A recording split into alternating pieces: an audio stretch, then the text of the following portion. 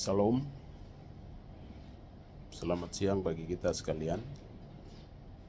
Wah, wah, wah, wah, wah. Amakanei. Amolei. Koyau. Koha.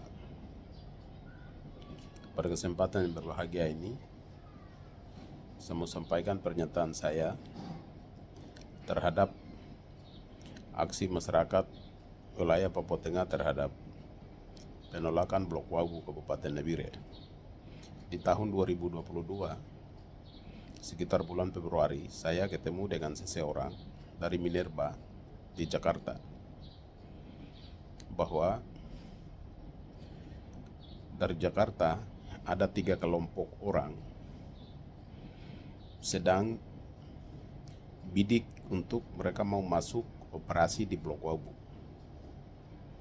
Ini satu. Yang kedua, tahun 2022 bulan September, saya pernah ketemu pejabat tinggi PT Freeport Indonesia di Timika bahwa beliau pernah cerita dengan saya tentang potensi kekayaan Blok Wabu.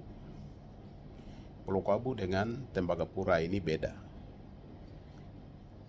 Potensi Tembagapura, kekayaan alam, baik itu emas, tembaga, nikel, dan sebagainya, itu ada di bawah tanah. Sehingga operasi menggunakan peralatan besar canggih dan sebagainya.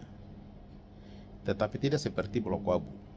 Blok Wabu itu emas itu hamburan di atas. Tetapi potensinya sangat luar biasa. Mereka menggunakan alat.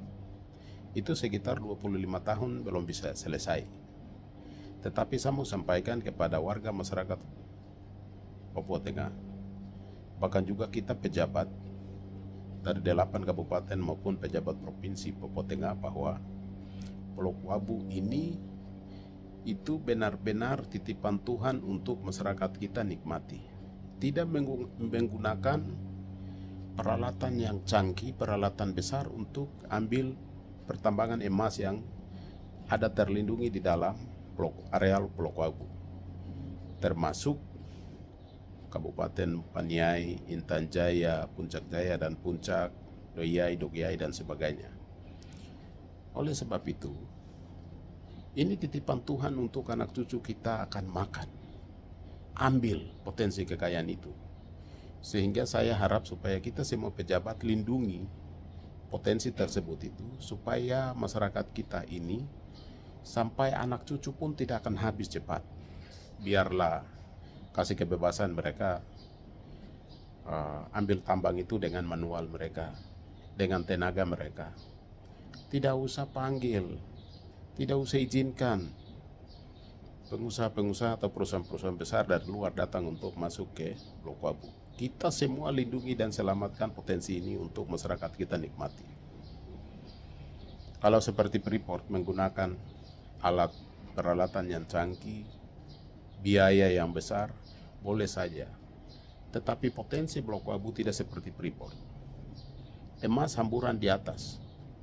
Masyarakat dengan tenaga manual saja, mereka bisa nikmati. Kita lindungi masyarakat kita.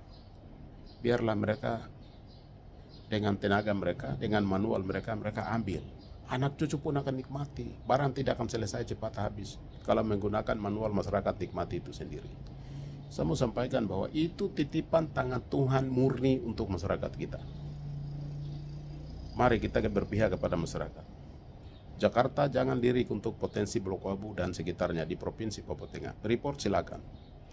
Tetapi untuk lain, termasuk Baya Biru, termasuk Blok Wabu, termasuk daerah Mapia, Paniai, Diai, Dogiai, Nabire, yang bisa menggunakan dengan alat-alat tradisional, uh, swadaya mereka kelola sendiri, silakan saja. Kita kasih kebebasan untuk masyarakat kita nikmati.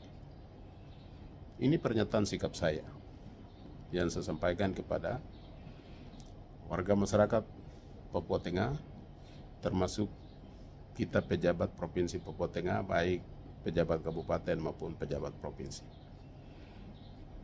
Sekian, Tuhan memberkati kita sekalian. Siapa dia setia kepada perkara-perkara kecil, dia juga akan setia kepada perkara-perkara besar. Terima kasih. Salam. Wah, wah, wah, wah. Amakanei, amolei, koyau, koha.